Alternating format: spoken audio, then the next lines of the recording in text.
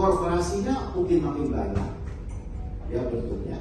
Mungkin jumlah pekerja di situ sedikit sedikit, tapi dengan kualifikasi yang tinggi, tapi mereka banyak sekali.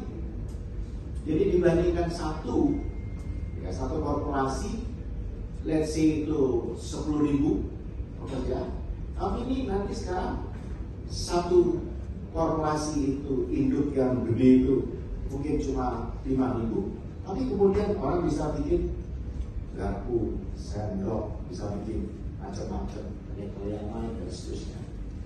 Nah ini yang mestinya didorong. Nah untuk itu dua menurut saya.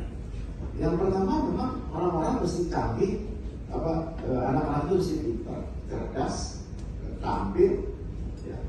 dan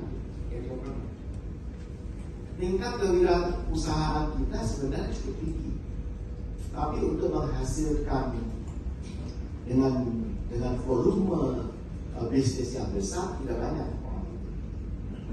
Nah menurut saya pemerintahan yang akan datang juga harus dimulai sudah dimulai sekarang ini dalam hal melanjutkan itu mendorong semakin banyak para uh, umusama sa mga para para